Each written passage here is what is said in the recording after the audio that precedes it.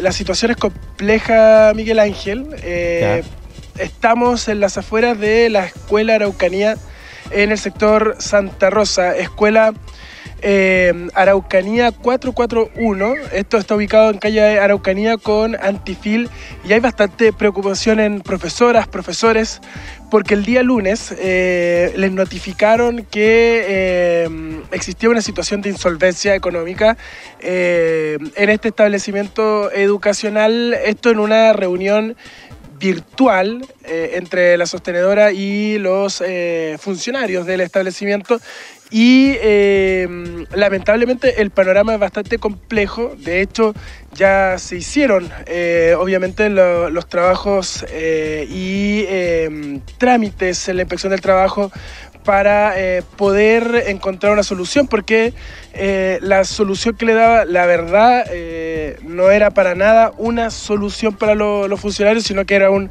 em, prejuicio para, para, ellos. Está la profesora Laura, con quien vamos a, conversar ahí, le pedimos a los profesores que se puedan acomodar acá, acá nada más.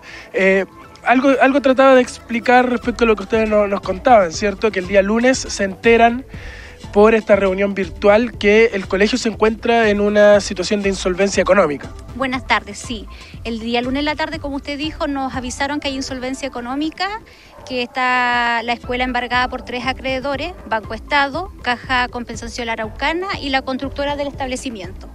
Y nos dice que no hay dinero para pagar sueldo de febrero, los reajustes que, no se, que se nos adeudan del mes de diciembre, enero, febrero, cotizaciones, seguros de cesantía, AFP y que esperemos unos tres meses para ver si hay alguna solución. Y que por favor no le, no entreguemos esta información a los apoderados y que mantengamos todo en silencio. Lamentablemente nosotros no podemos porque somos todos responsables económicamente de nuestros hogares. ahora estamos hablando de tres meses, estos tres meses de espera eran sin sueldo. Claro, era paciencia, ya nos pidió paciencia y que por favor no se filtrara esto y es imposible. ¿Ustedes sabían o sospechaban algo antes de... Sí, sospechábamos porque ya llevamos muchos años con una mala gestión, una mala administración de recursos de las subvenciones. Este colegio se recibe subvención estatal y tenemos problemas de mantención, problemas de gotera. Eh, usted imagínese, baño, patio sin techos, eh, sin sala con una eh, computación, sin compra de material didáctico anual. Entonces aquí esta escuela subsiste con el esfuerzo de todos los trabajadores, asistente de educación y docente. ¿Cuántos estudiantes hay en esta escuela? En esta escuela hay 143 niños matriculados hasta el día de hoy. Lo más probable es que tengamos una fuga de estudiantes porque, por la situación que estamos atravesando, que es muy grave. Ahora, ustedes se van a reunir con los apoderados. ¿Cómo va a ser el proceso eh, de ahora eh, en más? Porque eh, lo primero que le, les pidió la sostenedora es que era guardarlo casi como un secreto y ustedes estuvieron de desacuerdo porque es una situación compleja para el, colegio en general, para toda la comunidad educativa. Claro, nuestro hicimos primero ayer la denuncia en inspección del trabajo como trabajadores por no pago remuneraciones y eh, conjunto con el Centro Padre vamos a hacer una denuncia en la Superintendencia de Educación, porque nuestra esperanza es que la escuela se mantenga abierta, entregando la educación a los niños y que esta escuela tome nuevos administradores o un administrador eh, provisorio por parte del Ministerio de Educación, porque nosotros no podemos seguir eh, viniendo a trabajar porque no tenemos los recursos para venir. ¿Qué pasa con las clases? Hoy día estaban con clases normales, pero ¿qué pasa de ahora en más? Desde mañana lo más probable es que no hayan clase y solamente el establecimiento esté abierto para que los niños reciban su alimentación JUNAEP. Porque no podemos, no tenemos, por ejemplo, eh, internet, no tenemos computadores, fotocopiadora, hojas, tinta, lo mínimo para hacer clase. O sea, el panorama es totalmente oscuro respecto a la administración de este colegio. En diciembre del año pasado se le prometió al centro de padres eh, que durante el verano, que lo que corresponde hacer mantenciones, pintar la fachada de la escuela y todo, y cuando llegamos el primero de marzo estaba todo igual como nos fuimos el 30 de diciembre. Así que tampoco hay una palabra que cumplan para el centro de padres y tampoco para los funcionarios. O sea, si ahora mostramos la fachada del, colegio eh, Miguel Ángel, a la gente que nos está viendo, eh, claramente no, hubo un... se nota la pintura desgastada. Eh, entonces, está claro respecto a lo, que, a lo que nos señala la profesora, eh, en cuanto a la, situación. Eh, ¿Usted ha ido conversando durante el día con los apoderados? ¿Qué, ¿Qué, le han dicho ellos? Sí, en la mañana tuvimos una reunión con las directivas de los cursos y ellos manifiestan su apoyo a nosotros para que la escuela se mantenga abierta y que el Ministerio de Educación intervenga para que esto se normalice y ojalá que también nos paguen nuestras remuneraciones, que es lo que a nosotros nos afecta directamente. Ustedes han estado conversando con eh, abogados para poder asesorarse. En este momento acabamos de terminar una pequeña charla con abogados para asesorarnos para que esto tenga un, buen fin. ¿Se han contactado con alguien del eh, Ministerio de Educación hasta el momento? Ayer estuvimos una reunión en superintendencia, pero eh, nos dijeron que hiciéramos denuncias en conjunto con Centro Padre.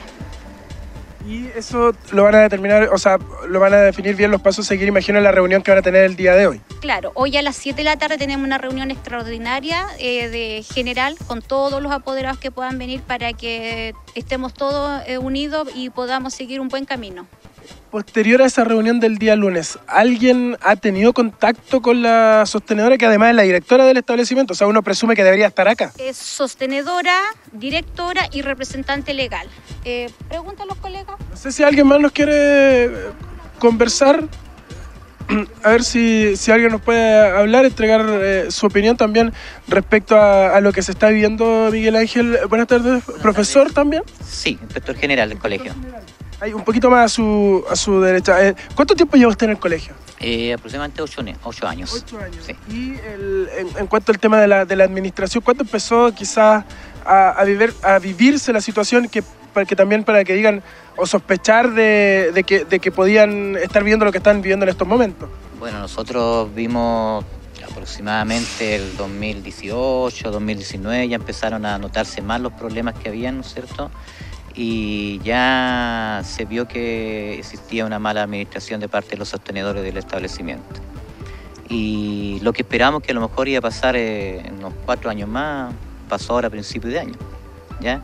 Es una situación bastante lamentable, sobre todo por los niños y, también para nosotros, porque nosotros también tenemos hijos, tenemos niños, ¿no es cierto? Y tenemos una familia que, que, sustentar. Eh, y no podemos estar eh, dos o tres meses trabajando eh, sin percibir nuestro, nuestros sueldos. Eh, y también por los niños, porque ellos son niños que necesitan a la escuela, necesitan venir a, aprender, eh, quieren mucho su escuela, se sienten identificados con ella y, es por eso que también los apoderados nos han dado todo el apoyo el día de hoy en la reunión de, microcentro, en el sentido de, de apoyarnos y entender la situación por lo cual nosotros vamos a suspender las clases desde el día de mañana el temor de que se efectúe un cierre del, establecimiento, ¿es una realidad para ustedes? ¿Se lo plantearon en la reunión? Sí, la verdad es que es una realidad, es una realidad para nosotros, ¿ya? Eh, tenemos la esperanza que mm, la superintendencia, el ministerio intervenga, ¿no es cierto?, y pueda darle una solución, al menos para terminar el año eh, académico de los niños, ¿ya? Esa es la esperanza y en eso estamos enfocados nosotros para poder eh, hacerlo pero está la, parte personal de cada uno de los funcionarios que hay de cada, uno de las, de, las, caras de mis colegas que vemos acá, hay una realidad que es distinta. Entonces también tenemos que preocuparnos de eso. ¿Cuántos funcionarios son en el colegio? 28. O sea, estamos hablando, contando entre estudiantes y funcionarios, estamos hablando de más de 150 familias que se están viendo afectadas en estos momentos. Cerca de 200 familias, más de 200 familias yo creo. ¿Mm? Eh, un panorama complejo, eh, Miguel Ángel, que eh, está afectando a, la comunidad educativa en general y que esperan una, solución. Ahora vamos a ver cuáles son los pasos a seguir también entendiendo la, denuncia que ya hay en la inspección del trabajo y la que se va a sumar a la superintendencia de educación, eh, entendiendo que el establecimiento ya desde mañana no va a contar con clases, solo va a estar habilitado para recibir eh, la alimentación Junaev los estudiantes que están en este colegio. La verdad, eh, Carlos, es que uno se pregunta, ¿es un establecimiento particular subvencionado? Es decir, recibe aportes del Estado para eh, el cometido, ¿cuál es? Entregar educación. Eh, entonces, ¿qué pasó con esa subvención? ¿Qué pasó con esos dineros? porque a, las claras el dinero no está llegando. ¿No te alcanzó a escuchar el último? Carlos, yo decía, mi reflexión era qué pasó con esa subvención escolar que no llega a, a los profesores eh, a través de sus sueldos, por un lado. Pero eh, si ya ha pasado tiempo, ¿qué ocurre con la fiscalización de ese colegio? ¿Quién debe fiscalizar que efectivamente los dineros que entrega el Estado a los colegios particulares para entregar educación se inviertan en eso y que no ocurra lo que hoy día va a significar dejar sin clases a una cantidad. Yo no sé cuántos son los estudiantes que tienen ahí, Carlos.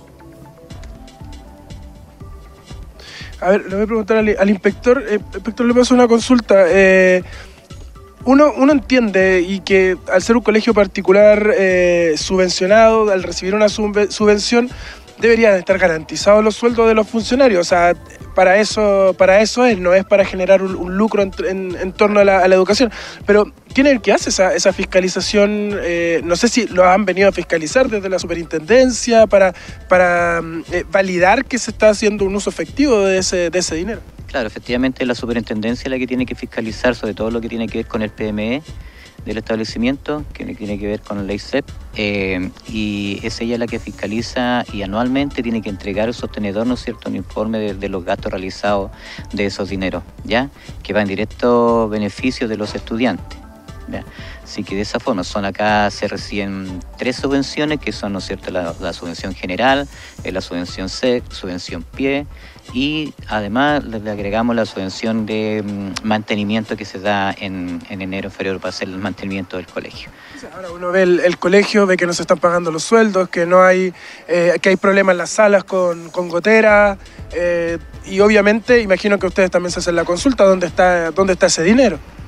Obviamente, obviamente no hacemos nosotros la consulta, qué ha pasado con eso, dónde está invertido, si es una plata que, entrega el Estado en beneficio de los niños, de nuestros estudiantes, eh, niños y niñas, y que debiera invertirse durante el año para tener las condiciones propicias para el aprendizaje, para un mejor logro de aprendizaje de nuestros estudiantes, pero eh, eso no se ve, ¿ya?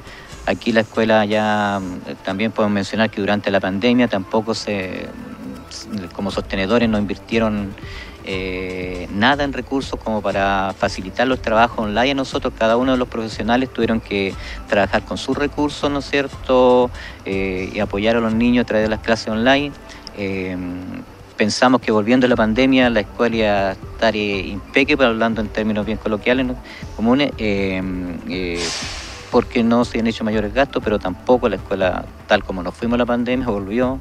Eh, y un sinnúmero de, situaciones que, han ido ocurriendo durante todos estos periodos. Entonces, es lamentable, es lamentable que recursos que entrega el Estado para beneficio de los niños, ¿no es cierto?, para la educación, que es súper importante, eh, no se usen como corresponden y, sostenedores no, utilicen las plata para que lo para que debe ocuparse. En estos momentos se le adeuda el mes de febrero ya.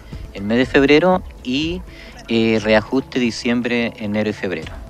Eso es lo que se adeuda y además le habían señalado en la reunión que eh, hicieran el esfuerzo de, de, aguantar a tres meses más. Nos pidieron que tuviéramos paciencia, eh, eh, tres meses aproximadamente mientras ellos solucionan el tema y, trabajar sin, sin sueldo esos tres meses. Como podrán imaginarse, no podemos estar trabajando tres meses si tenemos una familia detrás que, que tenemos que mantener igual, ¿ya? Y es lamentable, reitero también, tenemos la preocupación como profesionales, como docentes, como, como asistente de educación también, eh, la situación de cada uno de nuestros estudiantes. Porque ellos también ahora, a principios de año, los padres, las familias, hicieron una inversión que es comprar sus materiales, sus útiles, su uniforme del establecimiento y, todo eso no puede quedar ahí y desaparecer así como así la escuela eh, por, por mala administración o una pésima administración de lo que son los sostenedores del establecimiento. Eh, una, mala noticia, eh, Miguel Ángel, que está sucediendo eh, quisimos mostrar la realidad que están viviendo los funcionarios y funcionarias de este establecimiento educacional. Ahora las autoridades también tienen que hacerse parte de este, de este proceso porque eh, esa solicitud de paciencia y de que estén varios meses sin recibir su sueldo, eh, la verdad que en estos momentos, como está la situación eh, económica, es, casi una, burla a los, trabajadores y a, los, a, los, y las trabajadoras en medio de lo que se está viviendo. Reiterar, a contar de mañana el establecimiento no tendrá clases, pero sí estará habilitado para que los niños y niñas puedan venir a, recibir su almuerzo Junaev.